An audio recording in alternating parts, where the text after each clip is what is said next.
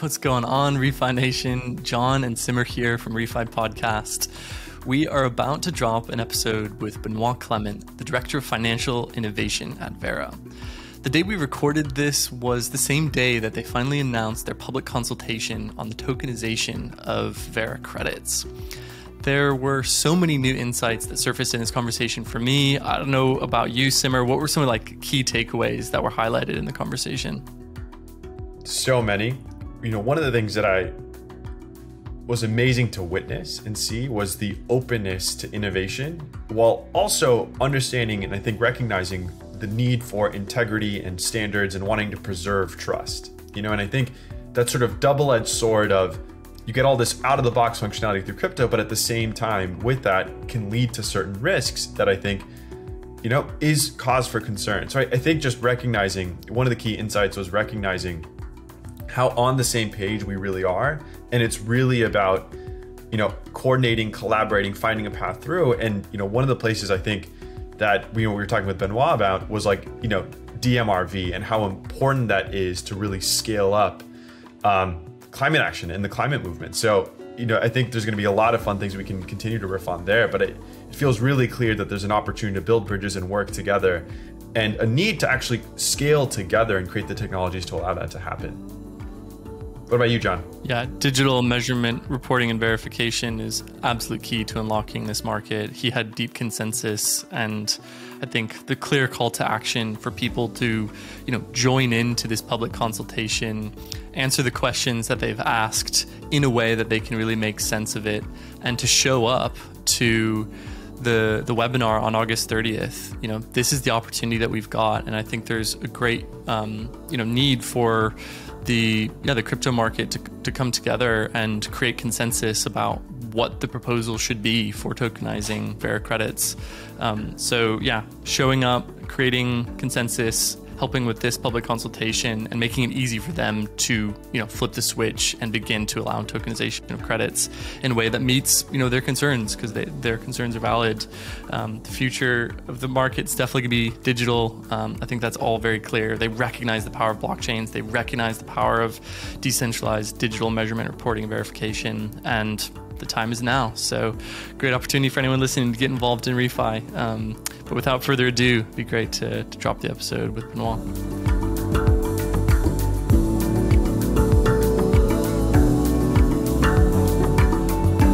Good morning, Benoit. How you doing, sir?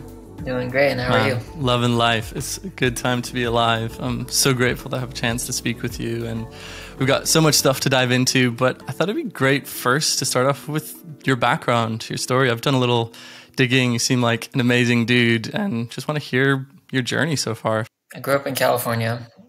Uh, my career started in finance. I was working in consumer banking with a focus on retail lending and credit. Um, yeah, after working in that for seven years, I wanted to feel more fulfillment from the work that I was doing. And that's when I decided to make a hard career transition towards working on environmental programs and projects. I then found myself doing some travels around the East Coast, going through different farms and eco villages, kind of studying ecosystems, soil, trees, and water.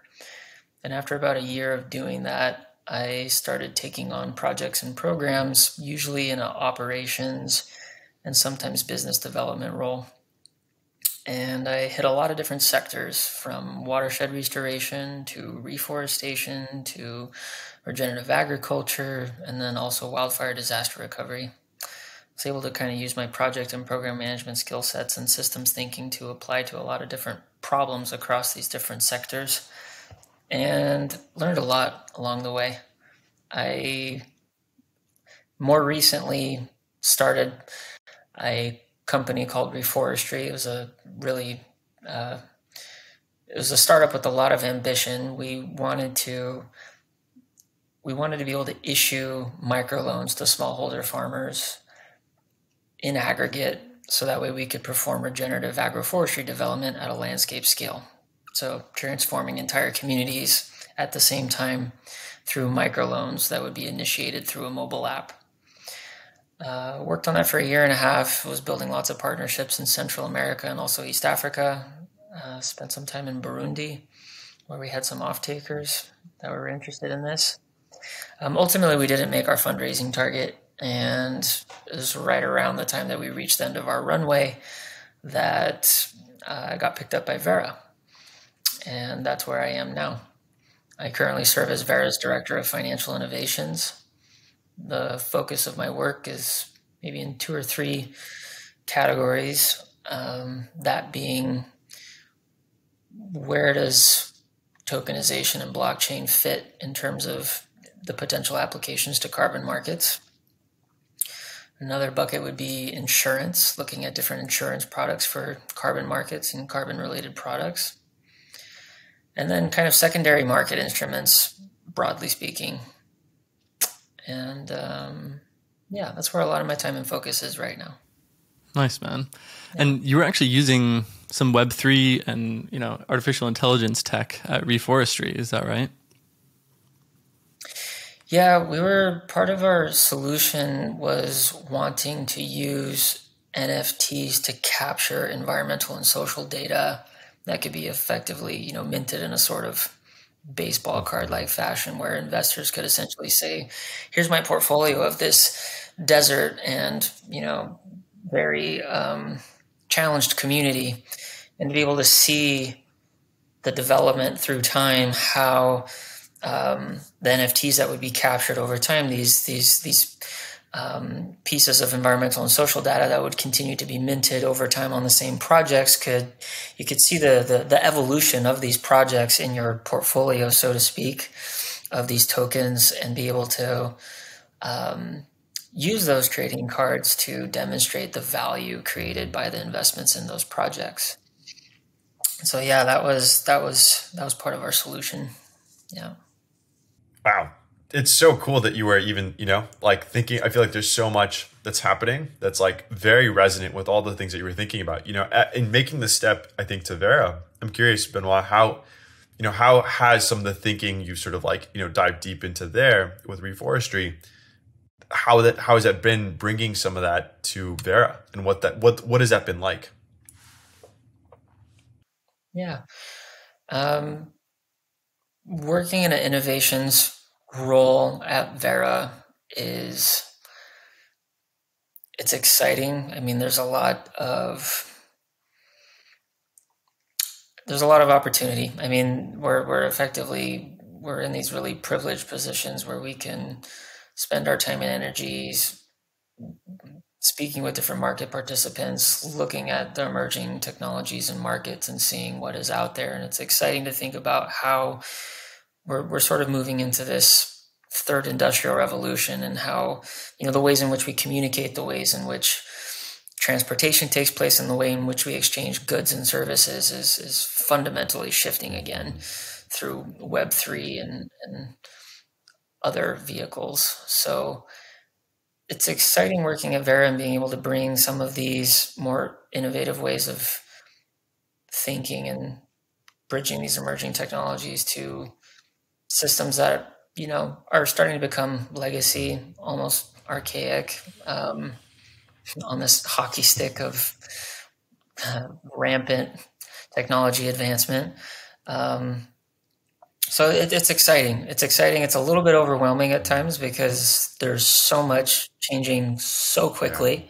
It's a lot to keep up on, and uh, you can't know everything. so you really need to build really good relationships and trust that you're going to be able to support yourself with the people who have the knowledge and expertise that and the same uh, intentions and values to drive and build the future that we want to see moving forward. Well said. Yeah, man. Feels like a similar role I'm in, but not in a legacy institution with a huge reputation and lots of uh, lots of supply in store. Um, I, would be curious to just get your take on the role that Verra plays in addressing climate change. Some of our listeners will know Verra intimately, and others don't. What is it? What's the role that it plays? And yeah, yeah. how does the voluntary carbon market fit within the bigger picture in your mind? Mm-hmm. Yeah. So Verra catalyzes a transition towards the green, sustainable future that we all want to see. We're both a standards body and a registry.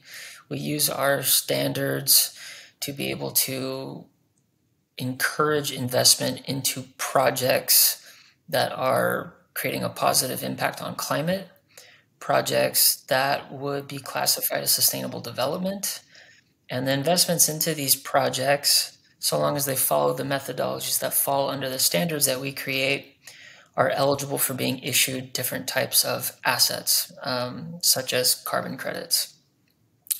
Those carbon credits can provide additional revenue streams to those projects to help make them financially viable.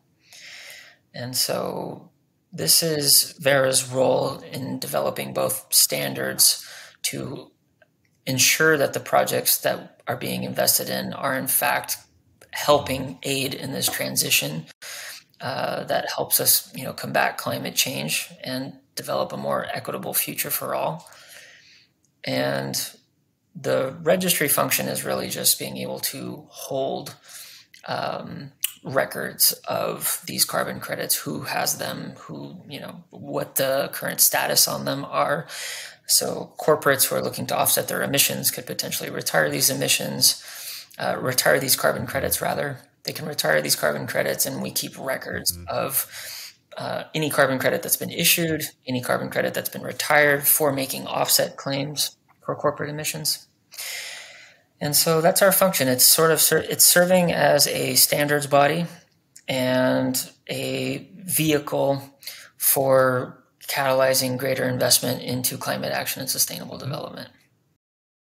And, and specifically on like the voluntary side of the market, right? Where there's, I think, was one of the key insights as I was getting into the space is that you know people are of their own volition and from shareholder pressure and kind of public sentiment paying money for other people to do positive climate action.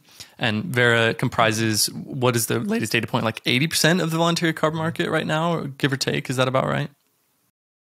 Yeah, I've seen some reports between 60 and 70%. Okay.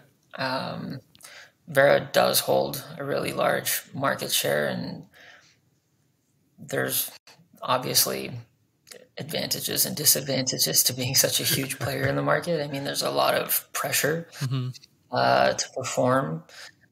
It incentivizes change, but also at the same time creates a lot of reflection around what kind of changes we want to make and what the implications are to the reputation because we obviously have a very significant impact on the overall perception of the integrity of carbon markets of the environmental integrity of carbon credits and so the actions that we take are taken quite seriously and you know our, our role within VCM is to continue trying to uphold that integrity, both from an environmental and a market perspective. We want to continue building the trust mm. of investors, the asset management firms, all the different institutions that want to see this transition towards mm-hmm. um, this more sustainable world that we would like to mm-hmm. continue mm-hmm. living in. So beautiful. Um, you know, one of the things I, I would also love to hear more about, Benoit, is you know you talk about the standards, the methodologies, and the integrity could you just say more about, you know, just like what that means both to you and to Verra and what are the things that are really important in thinking about that to you guys? Yeah. So our, our flagship program, the Verified Carbon Standard VCS program, this this standard encompasses a lot of different types of methodologies. These methodologies are applicable to various kinds of project activity types. Project activity types that might fall under agroforestry and other land use, project activity types that might fall under more um, technical projects such as renewable energy projects or carbon capture and storage facilities. We have, under the standard, many different types of methodologies that outline how these different types of project activity types could potentially be eligible for receiving carbon credits as a result of the emissions reductions or removals that they perform. So, the importance for us in regards to these programs, uh, the, the, program and the standards and methodologies that um, that constitute this program is we hold this incredibly important to us and it's it's a it's a constant evolution that's taking place for this program where we are regularly doing revisions, updates, and additions to these programs, to the standards, to the methodologies that fall within them. Um, we're constantly seeing new technologies being created. These technologies are providing us new kinds of data points. These data points are providing us with new analyses, which sometimes can indicate that our previous way of thinking could benefit from some adjustment to help us actually move even closer towards reaching the targets, the kinds of impacts that we're looking to make. So, um, while the standards and methodologies are really important and should be followed for any kind of carbon project development, um, it's also important that we maintain uh, their flexibility to be able to continue evolving towards more and more improved sets of standards and methodologies. So, yeah, this is this is you know a core part of our work. In the simplest term, you know, the the standards and methodologies are defining like what is the assumption around the planet positive behavior that people are doing that we want to incentivize them to do, and how we can verify that that's actually happening. And mm-hmm. correct me if I'm wrong, but integrity seems to be a kind of um, difficult term to pin down. I know that the ICVCM, um, the Integrity Council for Voluntary Carbon Market, really struggled to come up with an objective definition for integrity. But it, it seems to be integral you know integral a key facet of building trust. Yeah. like how do you guys define integrity yeah. at Verra yeah. It's a great question. It's um, as you said it, it, can have a lot of different kinds of interpretations. Um, i think what we're seeing come up quite regularly across organizations in our industry is a lot of concern around the permanence of projects that's a topic that comes up a lot. And for those that are maybe less familiar with the term of permanence, we're asking ourselves, you know, how how permanent is the removal or reduction of the emissions for this project? There are some risks, for example, when we look at nature-based projects, reforestation, for example, a wildfire can wipe that out. And now, you know, we're looking at this this permanence risk where the carbon that we had hoped would be removed from the atmosphere from this project is now in fact released back to the atmosphere mm-hmm. so there are some general perceptions you know similarly that technology solutions are perhaps having lower permanence risk so when we talk about integrity it's important to look at things like permanence it's important also to look at things like transparency what are the prices that are being paid for these various types of carbon credits? And when we're looking at these carbon credits, another element is when we think about environmental integrity, I think it's also important to consider social impact. It's great to plant a forest, but we should not be doing so at the expense of others. We should not be, you know, for example, um, diminishing the quality of life for communities by forcing certain kinds of carbon project solutions into their region if they are not going to necessarily benefit from the project themselves. It would be much more ideal if we could look at carbon cre- credits that have both environmental impact but also co benefits that provide benefit to those communities as well. So perhaps, you know, uh, education or youth employment, etc.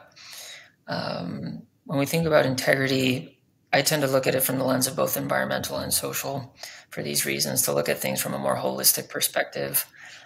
Um, the transparency part on the actual impacts is really important.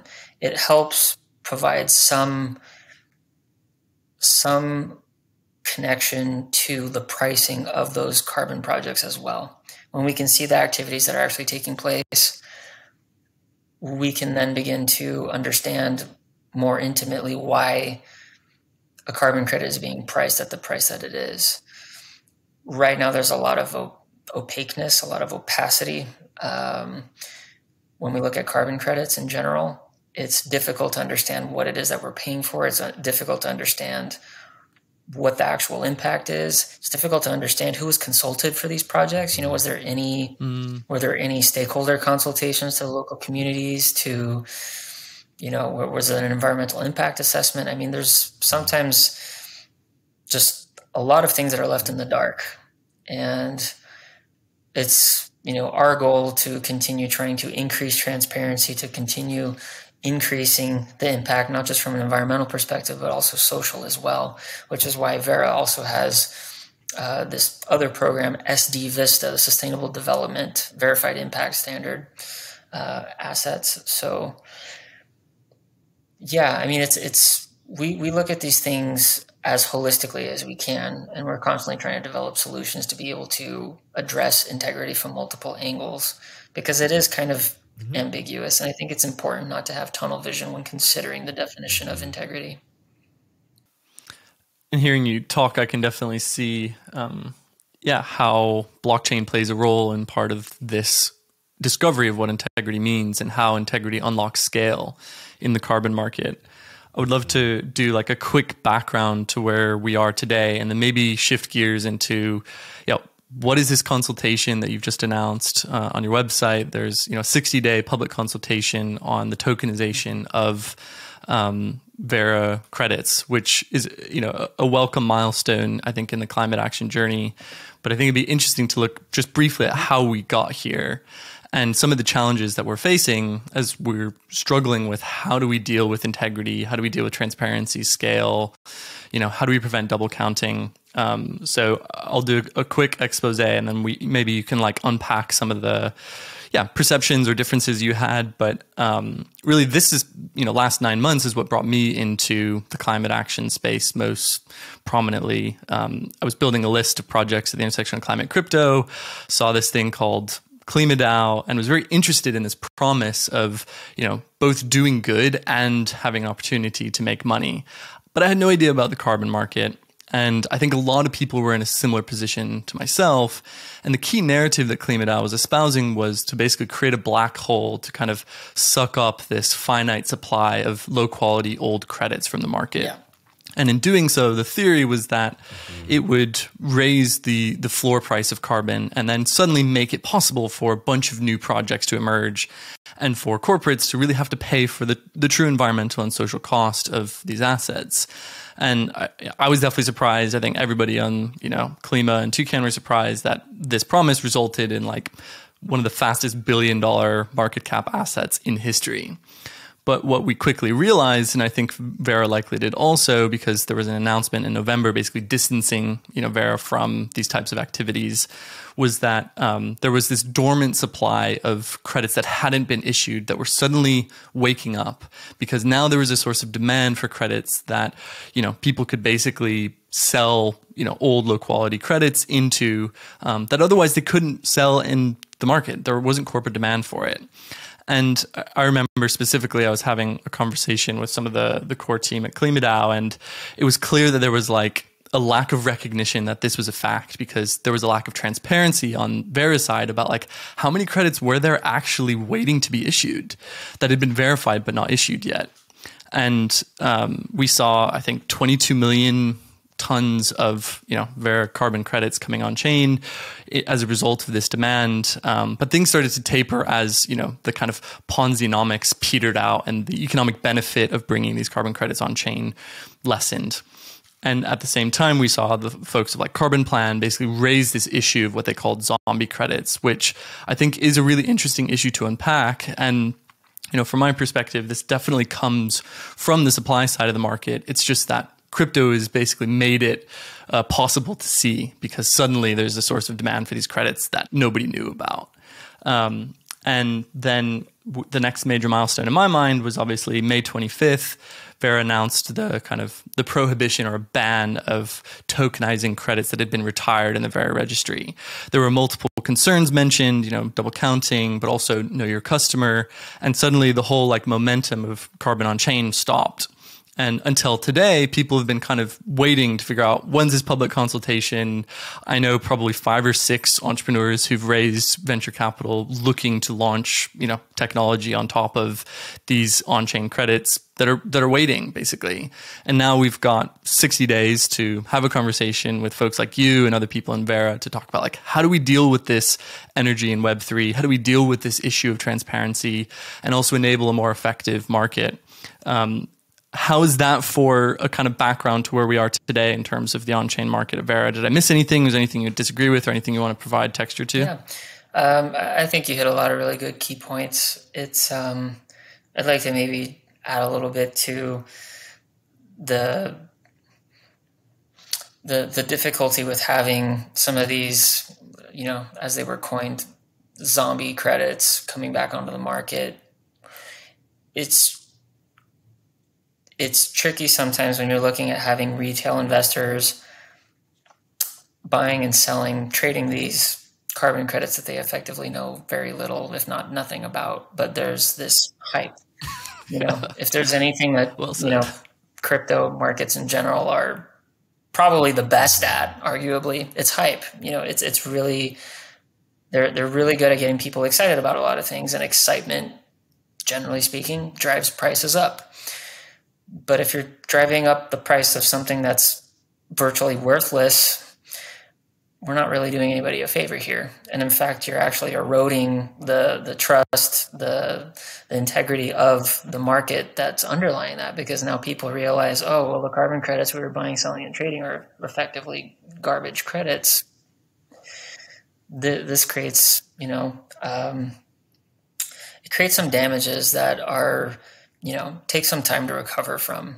And there's a lot of exciting applications a lot of opportunities i think for blockchain and tokenization within this space. It's critical that we approach that in a manner that is going to be conducive to bolstering the integrity of these markets and not risking the perception of trust and integrity of them I, I totally agree, and um, I think you know one of the clear insights was like of the billion dollar market cap of Klima, how much went to project developers? Mm. How much went to taking carbon out of the atmosphere and avoiding it from being emitted? You know, that's a thing I really care about, and I think that's something we should all really care about. And we don't know because that transaction history isn't on chain yet. So I think there's something there, but but also I would ask, wouldn't those credits be coming to life later in the climate journey anyway?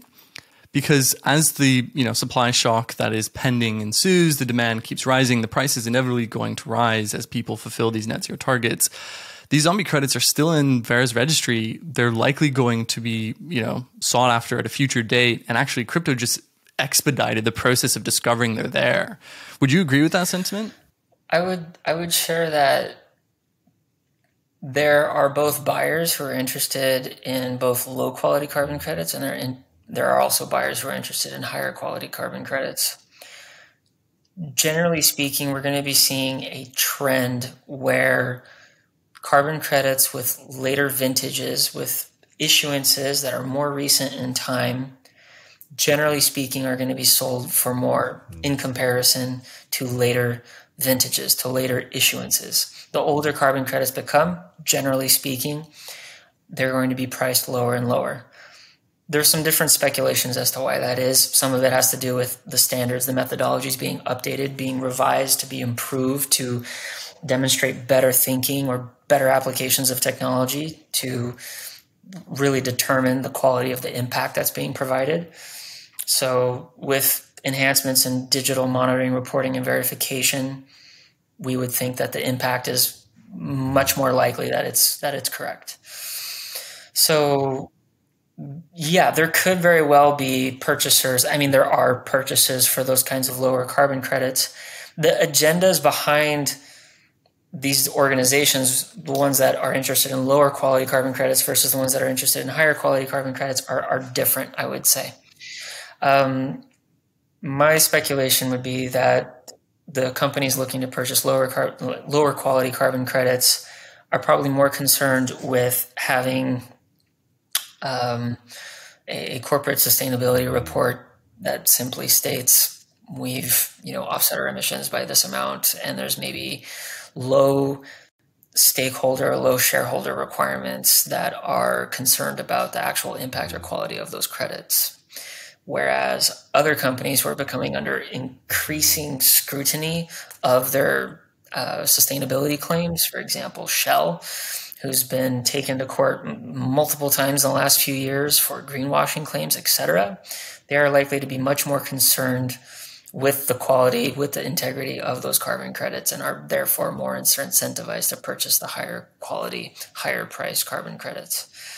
So, um, you know, I think it's interesting that you know crypto can, um, I mean, as you've pointed out, make more aware of the available supply. I think it's going to be important that we figure out how liquidity can be increased in a way that doesn't jeopardize trust in these markets. And just building off of that, Benoit, can you maybe share, give a little bit of an insight behind the scenes, like as all this was happening in the refi space? You know, what was it like at Verra? What were some of the things, what were some of the reactions, and help us just bring us to the journey of here now releasing this sort of public consultation. What have you guys been thinking about? What's been top of mind? What have what has been your journey, you know, in witnessing how the market has unfolded around yeah. you?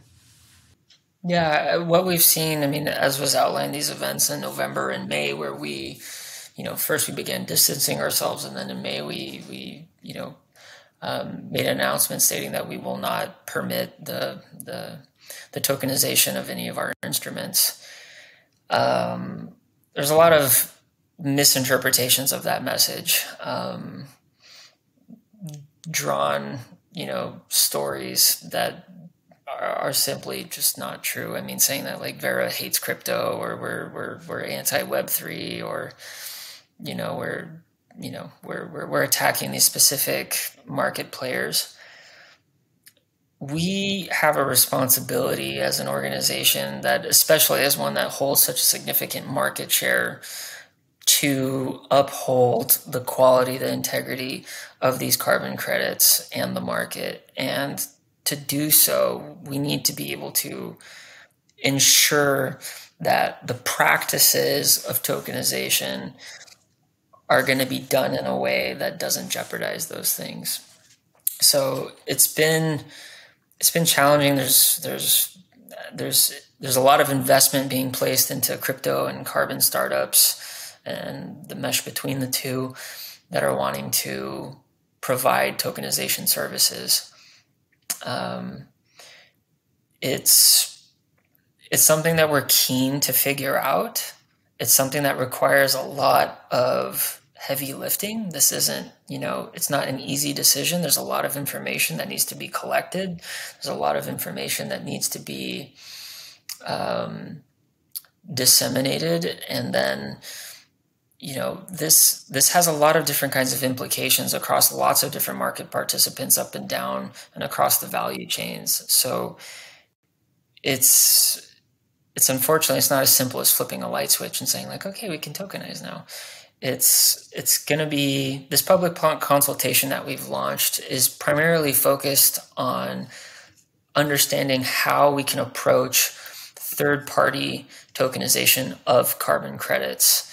It's mostly focused on a few buckets like fraud, uh, environmental integrity, uh, regulatory uncertainty, uh, the anonymity of entities, and then also legal uncertainty.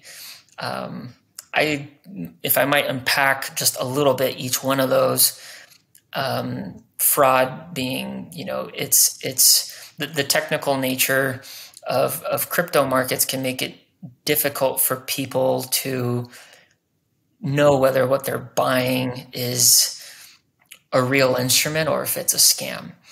Um, when sure. we look at environmental integrity as being another one of those buckets that we're exploring through this consultation, is yeah, it's double issuance or double use of these crypto instruments or tokens. Um, it could also be um, when you consider the the energy expenditure for transacting how many times does a token does a carbon token need to be traded before the the one ton of emissions it represents is effectively you know gone um, could you actually have a, a, carbon token that's been traded so many times that now it's actually have, has a negative impact on the environment You definitely could. You, know, so, you definitely could. you know, what kind of measures can we put in place to, you know, the, the whole purpose of these carbon credits is to have a positive climate impact. So how do we ensure that that's going to happen when you can now open up all of this additional trading, for example? Um, you know, what's the sustainability? What's the energy use consumed by these these blockchain providers? You know, the, there's a lot of questions, you know, around the environmental integrity part. Um, regulatory, you know, are these are these going to be considered securities? You know, is the is the Security and Exchange Commission are they going to want to try and regulate this? Is it only going to stay under the CFTC? Um, those are conversations that are probably some of the biggest conversations that need to be had, and it's not going to be a quick one. Um, related to that is the anonymity of entities. So, like, how are we? How are we performing processes that allow us to know who is buying and selling these carbon credits? Um, related to that is the anti money laundering protocols. How do we ensure that we're not helping? How do we know that we're not helping black markets to be able to transact in these things uh, inadvertently? Um, these are all like really important issues that we're going to try to figure out and we're, we're on this mission to figure these things out which is why we've launched this public consultation is to get input from from all entities from all individuals who are passionate about this and so you know we're we know that we're going to get some really helpful information through this consultation um, and you know we look forward to sharing what we learned through that process and continuing to move forward and in seeing how we can adopt um, some potential measures to either make this a positive path forward um, or look for alternatives. Yeah. Yeah, I appreciate you unpacking some of that because um, I think you know, I used to lead growth at Toucan, and on the surface, it seems like, oh, the solution is very clear. You just introduce a tokenized state into the database. As soon as it's tokenized, you know, the person who's performing the transaction on the bridge, you know, confirms it. The API from uh, whatever the bridging entity is changes the state in Verra, and boom, you're done. Yeah. But I think the question then becomes like, how do you then know it's not being issued on a bunch of different chains at the same time? Polygon, Celo, you know, Cosmos, etc. There's definitely that there, and I, I, do think there's you know an interesting question around like, um, yeah, the like you said, how many times does a carbon credit need to be traded before it can be retired? These things were designed to be retired, and suddenly the tokenization can delay the retirement and enable speculation. But if something's traded 500 times on you know relatively energy intensive blockchains you know it's useless. And and we're defeating the purpose and we're creating something that's meant to be a positive externality and diluting its importance. So yeah i really appreciate that that question there. I think at the same time i'm also a little bit worried about like the time horizons. You know this initial announcement was in yeah. may. We're now in august. August 30th is you know the consultation date. Um, and i know that there's obviously a kind of yeah october deadline. But then if, if you're really looking for regulatory clarity on the tokenization of these instruments. How long does you know it take for enough legal entities to create consensus about this?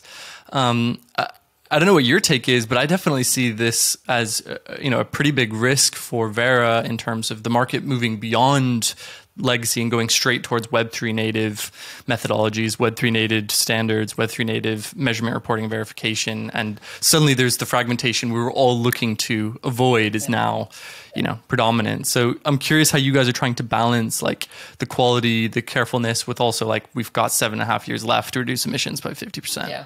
Yeah, no, it's a great question. I mean, we know that the the market cap you know behind this is huge and it's something that you know we would like to be able to have participate in the benefit of climate impact we're i mean as you pointed out trying to understand the regulatory landscape is probably easily going to be like the biggest hurdle that we're trying to to move over. It it's this interesting space where you know, if we if we consider if we consider the value proposition of some you know, of, of these crypto companies that are looking at tokenized carbon credits, the the arguably one of the largest parts of their value proposition is the, the, simply just the tokenization, charging a fee for changing the format of a carbon credit into something that has more utility, more function.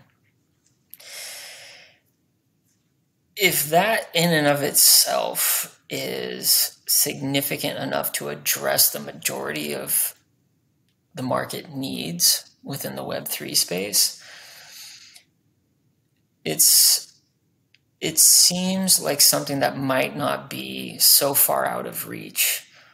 When we start to look at derivative products, that's where things start to get especially concerning, I would say. Um, as an example, we could have we could have carbon credits right now as they stand being converted to tokens where, you know, let's say ABC token for each carbon credit where we might have some KYC AML take place on that first tier token. Mm-hmm. You know, that mm-hmm. You mean at the issuance, at the moment that it's issued? Yeah, yeah. yeah. Uh, uh, so the moment mm-hmm. that a, that a, an existing carbon credit, let's say for this example, for the sake of this example, let's say we're ta- we're tokenizing existing carbon credits and not issuing carbon credits immediately on chain. Let's say, for example, we're starting okay. with a carbon credit that already exists and we want to tokenize it. So we're we're effectively immobilizing this carbon credit, issuing a token, minting a token. Um, when we look at derivative products that could potentially have concerning impacts on carbon markets, on prices. Take, for example, you have ABC token that represents, it's a digital representation of this carbon credit. Now, if you're like, let's say you take a bunch of these ABC tokens and issue a new token that's representative of maybe a pool of those tokens or even just the token themselves if you had another one-to-one conversion. But now you call that abc plus. The market the, the consumer perception between abc and abc plus can be communicated and interpreted in so many different ways where abc might have had to have been tokenized following some kind of process, some kind of protocol outlined by the standards themselves. But now when you're having a token of a token, a tokenized, you know, token, you know, a second tier, a new um, a new level of tokenization that's taking place off of that base token, we're starting to lose some of the control parameters between the initial carbon credit, the environmental benefit, and this derivative product. There can now be actions that take place with this second tier token that are perhaps being misconceived as being um, ABC tokens. The only difference is ABC plus. So if you have this ABC token and now you've issued another token off of this ABC token and you're calling it ABC plus, well, you know, it's you figure this is this is basically a Verra carbon credit. It's it's basically the same thing. But this ABC Plus token, is it necessarily following the same kinds of regulations or protocols that are put into place for that first ABC token? And now with that token being so similar in nature, ABC versus ABC Plus, ABC Plus, you figure this is a better token, or it's the same thing but even better. And now these tokens could potentially be driven up in speculation. Um, if at any point there is, um, say, like a decline in um, carbon credit pricing, the markets take a downward swing, and you've got the value of this carbon credit uh, through these tokens being staked. Could there not be an instance where there's effectively a margin call that takes place that triggers a huge sell off, and then you end up having this bullwhip effect that now just sends price volatility um, to extremes that we don't want to see in this market. I just want to go for that second thought because, like, why would we not want to see price volatility in the voluntary carbon market to those extremes? Right. Well, because it, it erodes trust. It, beca- it becomes this. It becomes this investor risk where all of a sudden it's like, wow, like you're not going to get major you're not going to get major players that are going to be wanting to throw their you know millions or billions of dollars into something that can gain 50 or 100 or 2 or 300 percent or lose all of its value like we've seen in crypto markets sometimes. Um, that that that that extreme level of volatility is not something that would instill investor trust into further climate action and sustainable development yes, we want to see changes over time. That's just in you know that that's that's inherent in in any kind of market in the in the pricing of any kind of product. But there are healthy there are healthy spectrums that one would like to see in markets to be able to allow for greater investment to take place in these markets. When you start in introducing these huge swings, especially when they're downward, um, this creates a lot of risks um, that that inhibit further investment and create um, greater distrust. And that's that's that's one of the biggest challenges that we're facing. Is you know how can we ensure that derivative products created off of these is not going to actually erode confidence in these markets. It's such a delicate balance too, yeah. you know. And, and it, it seems, and Benoit, it seems like part of what I'm hearing is like there is this openness to innovation 100% like hey let's explore. And there's very clearly a we need to you know it's important to preserve the integrity and the trust that we have right? And so in, you know in, at least that's what i'm hearing. You know it's like not a again it's not like a we're not opposed we're not opposed to this. It's we want to do this in a way that yeah. preserves integrity and trust and we're trying to figure out how we build that bridge. Yeah Conversely, there's also potentially great benefits with derivative products. I mean, you could be creating these pools mm-hmm. of, of similar tokens. Like, say you wanted to pool all of the agroforestry tokens and you want to pool all of the sea forest mm. tokens and be able to sell these new derivative products to certain types of clientele through these marketing schemes that are, are really geared towards, let's say, surfers. You, you want all the surfers to be buying these blue carbon token pools because you've created this new Mm. derivative that that you know really speaks to a specific audience type. So you're actually driving more investment towards blue carbon projects. That would be yeah. amazing of course. Yeah. transparent. And you can make it automated. You can build games sure. on it. You can build entire yeah. you know financial systems that, that would be space. amazing. Yeah totally. At, at the same time how do you ensure that these instruments that are being created are not being created and not just not being created, but also being managed in a manner that doesn't allow for adverse effects to take place. I mean, I don't think anybody, pre- well, that's maybe not true. there are some predictions for the 2008 housing financial crisis. There were some people that were trying to blow the whistle and, and warn and alert us of that. But I think when these products were initially created, you know, we saw opportunity. We saw opportunity for additional funds, additional investment to be driven into some of these you know, kinds of areas. And ultimately, when you take out ethics and morals and you're creating new projects or products or you're managing those products in a way where ethics and morals are, are not part of your equation for, for doing business, we saw how that created this this global financial crisis as a result. So, you know, it, it's important that, you know, the actors who are going to be involved in this evolution um, are, are, thinking with the best interest of our future generations and the planet in mind. So that, that, that's a really hard that's a really hard thing to to to steer.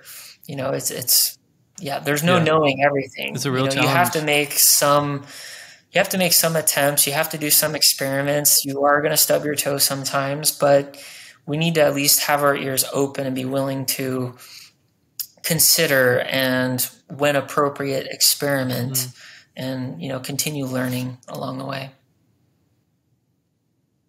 I hear you, and I'm grateful you've taken on the helm of addressing this challenge. And it sounds like they've hired the right guy.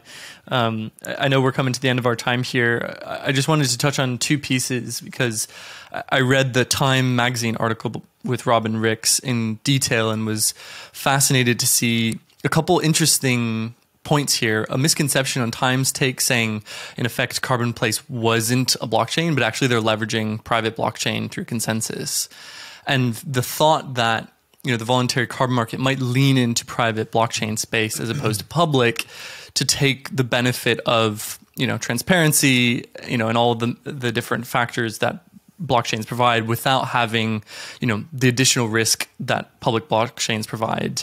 Um, and in doing so i spoke to quite a few people from like you know major consultancy firms and heard these kind of horror stories of corporate actors coming together to create private blockchains and recognizing the game theory behind these plays are, are, really set up for failure because it has a huge incentives for you know an individual actor to defect. And if your validator network starts falling apart it's very easy for this you know could to go to dust. And so i just wanted to get your thoughts on private versus public blockchain and um, where you guys are playing on this and how you're factoring that into your considerations as you so, move forward so, like, if we were to take Carbonplace, that specifically, for example, um, where I could see the interest in engaging in some sort of experiment from that lens, I think it's, I think the draw there is working with institutions who are bound by regulations don't see so much the draw being the fact that it would be private but this is my this is my perception. I personally prefer a public approach for the reason that it further enforces kyc and aml protocols. I mean it's it's this is also sort of this um, interesting dichotomy you see in, in in the web 3 space. You know you've got some players who are all about complete anonymity which does not lend itself to KYC AML practices. And then you've got this other side of the spectrum that's very pro, you know, just open everything, transparent everything, which, you know, I myself, when I look at myself and as an individual, I don't really fall on either extreme. I think that there's great applications for either side depending on the context. I close the door when I use the restroom because I want my own privacy. There are certain things that maybe just don't need to be shared with the outside world. But at the same time, there are things that certainly should be. And that's a difficult line to navigate. It's a, it's a, it's a, it's a difficult dance and, and context, I think, is everything. And, you know, I would like to see one where there's this consensus mechanism where the standards bodies who are pioneering, you know, the the transition towards sustainable development and climate action to operate on some sort of consensus mechanism. I really like the idea of having cooperative, collaborative work being performed to uh, work towards hitting our climate goals. And and less so of having these like behind closed doors kinds of approaches where we can't see what's actually happening. I don't feel that it instills trust. I don't feel that that also um, allows for avenues for greater innovation to take place. I've seen a lot of really great initiatives take place with open source and public approaches. So that's that's where my general preferences lean. Um, but yeah, how we all, all, go about it, I think, is going to be a, a really big question that we're going to have to work on for the you know indefinite future. And we have a question from our listeners, Benoit. Hi, I'm Hayley Moller. I'm with Thallo, which is a marketplace for uh, businesses and individuals to be able to buy high quality carbon credits. My question for Verra is what can the refi or regenerative finance community do to be the best possible partner to registries who are looking to innovate and also to scale help scale the market with integrity? Yeah. Um, one of the most beneficial ways is to engage with the standards bodies and their public consultations. So we get bombarded like every day with requests from various Web3 companies that want to tokenize this, tokenize that. They want updates, they want to be in this or that. I think the best thing that individuals and organizations can do is engage in the public consultation processes, provide your input, provide your feedback. Um, the more clear you can be in your communication, the better through those public consultation processes. When there are working groups that are established, participate in the working groups, try to you know contribute to constructive conversations um, it's it's overwhelming sometimes when we're just being bombarded with a lot of individual requests that we cannot just do these like one-off um, exceptions for every single you know organization that has an idea. It's like oh hey we want to try this. Hey we want to try that. It's it's there's so much work involved with being able to do a single one of those and just trying to field the dozens of requests that we get every week is not a productive use of our time. It would be better if we could actually spend that time in the public consultation work and in the working groups where we're, you know, we've got some direction, we've got some parameters that we're working with. Um, and so, yeah, one of the most helpful ways that that individuals can participate would be in engaging in those public consultations and working groups as they arise. Which basically in this case means showing up to the webinar on August 30th and providing input. Is that it? Is that the only behavior? What are the other behaviors people can do? Is it you know i'm just curious what specific yeah. actions people can um, take. something that I, I, I personally find really helpful. So in addition to sending in the responses to the questions provided in the public consultation in addition to participating in working groups um, drafting models, showing us use cases, um, the the sharing of processes and visuals. You know, it's like the saying that a picture paints a thousand words. It's it communicates ideas and concepts so much more quickly than trying to read a 15 page email or a 15 page you know concept note it can help a lot when somebody's able to show us like hey here's a model here's a process flow um, you know or here's a, a even if it's a text-based document here's a process document on how this operates. Um, the visuals and process systems oriented thinking is really helpful instead of getting linear communications that we have to create three dimensional re- renditions of in our own minds to try and comprehend the greater system. So, um, people who can build those kinds of things, totally. I think, are of great help. People who can consider um, the various requirements from different market participant angles. For example, what is what, what do standards bodies need? What do regulatory body like? What is the CFTC going to need? You know, what what is the requirement of a carbon token?